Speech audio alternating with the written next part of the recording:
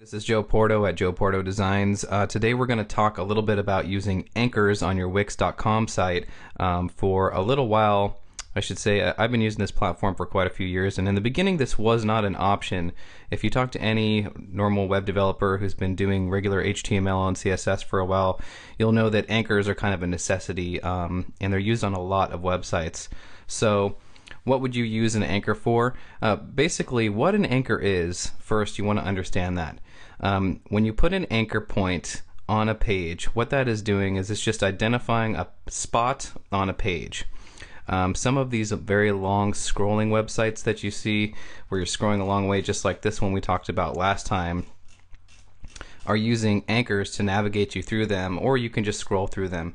But anchors are definitely a faster way to get down a page to a specific spot. Okay, so that's all it is, is it's marking a place on a website page and it's going to take you there. So in this case, what we're going to do is we're going to place a couple of anchors here in the in this Wix.com site, and then we're going to go ahead and link some buttons to them. Okay, so the first thing is where do you find these uh, supposed anchors?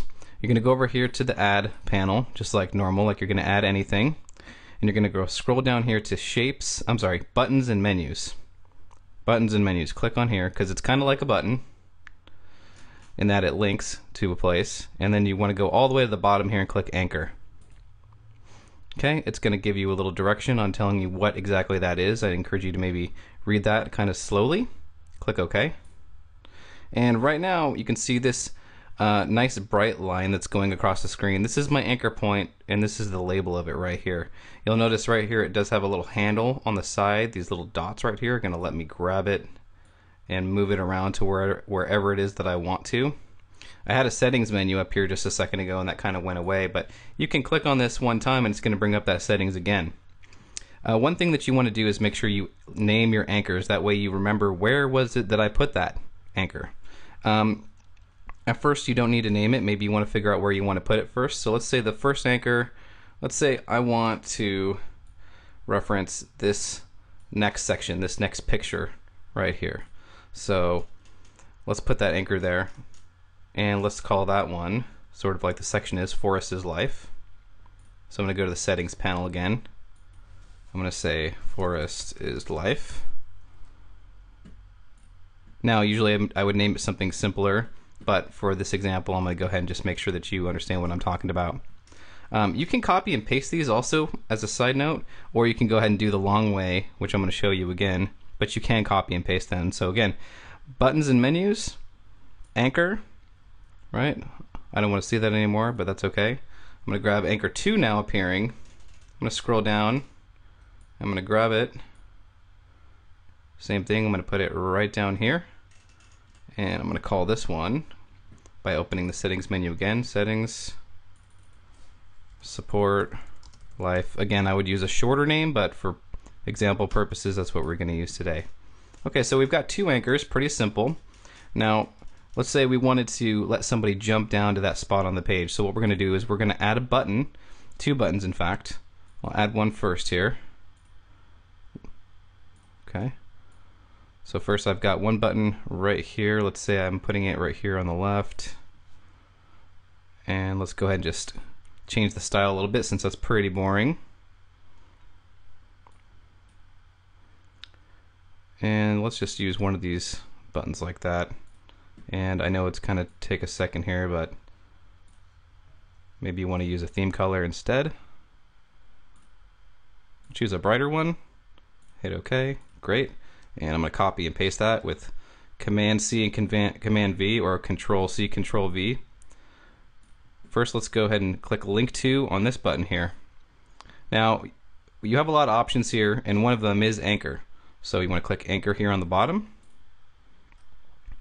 Right now my page uh, is my home page is where my anchor is now and I want to select the anchor to link to. The first one happens to be Forest's life. So that's, I'm sorry, actually, if you don't know which one it is, you might want to take a second, close out of that, look down. Okay, it's Forest's life, that's right. So we'll go ahead and link that to Forest's life. It's already set. Hit OK. We're going to do the same thing for this one, link it to that other anchor, which was support life. Hit OK. And we're done. uh, we can go ahead and test that one out. I'm going to go ahead and just publish this so you can see what that looks like.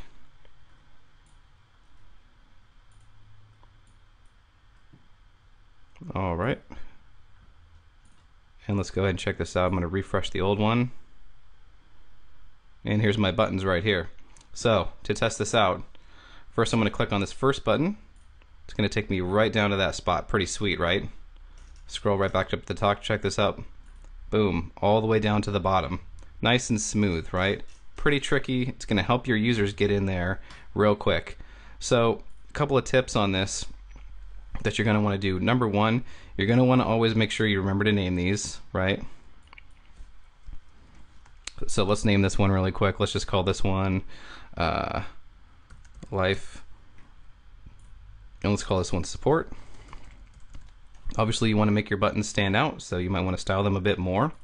Uh, now, the, the last thing here that we want to touch on really quick is once you actually push one of these buttons and you move down the page, let's say this section right here, um, I had to scroll all the way back up to the top. Usually that's not that big of a deal, especially if you're using a trackpad that's really nice or a magic mouse on, a, on an Apple computer. Um, you can flick uh, just your finger really quick and it'll get you all the way back up to that spot on the page. But let's say you, you didn't have that convenience. Uh, well, a best practice that you should use is actually putting another button here, right? So you should go ahead and add another button here to make it a little easier for that user, right? In this case, I'm going to stick it right down here. Okay. And what we're going to do is name this button back to top. Okay. So what we need to do is actually make it so that they can click a button to go back to the top of the page really quick. So in this case, let's just call it top. Okay, and I'm not going to add a link yet.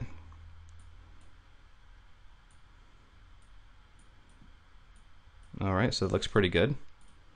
So, what do we need to do to get back up to the top? Well, uh, we actually need to add another anchor, believe it or not. So now that you know how to get down the page, let's put a, an anchor to get back up to the top of the page. Okay, so what we're going to do is same thing. Go back to this menu right here, go back to the buttons menu, add another anchor just like before. Grab anchor 3 right here that just appeared.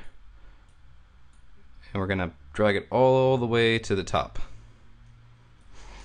Okay, now I'm not going to get all the way to the top right this second because it's uh, blocking, it's underneath the menu right now but that's okay. We're going to go, and, go ahead and set it up really quick. We're going to call it top. That's what you probably always want to call this one for quick reference. Okay, and then what I am going to do is tuck it right up underneath there as far as I can go. Okay, now we can go ahead and go back down to this button right here and we can link it to an anchor, which is the top. Okay, click OK. And I'm going to go ahead and copy that button. And I'm going to put another one down here. And there we go. So let's go ahead and save that. Great. Let's refresh this page really quick and check it out. Okay we can go down to the first section here. Then we can click the top button here. It's going to bring me right back up we can go to that last section down there click the top button take us all the way back up so there you have it. This is a quick and easy way to use maybe a single page to navigate through maybe a web page that has a ton of content that you want to stick on the same page, make it a long page, but you want to make it uh, easy for your user to get to that information or that section, okay? If you guys have any questions about this, you can email me. You can leave a comment here on this page as well, or you can reach me also at joeportodesigns.com. We'll talk to you next time.